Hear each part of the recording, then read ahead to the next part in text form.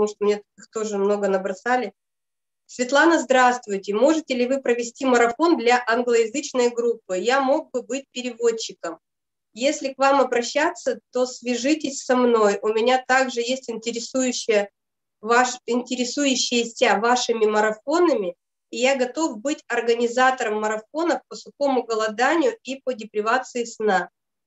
А, англоязычные марафоны, да, с удовольствием, если, если есть желающие, то, конечно же, можем провести, потому что был такой опыт, мы уже проводили англоязычные марафоны, и достаточно как бы они успешно проходили у нас, поэтому, конечно, связывайтесь, и я думаю, что этот момент мы с удовольствием с вами обсудим.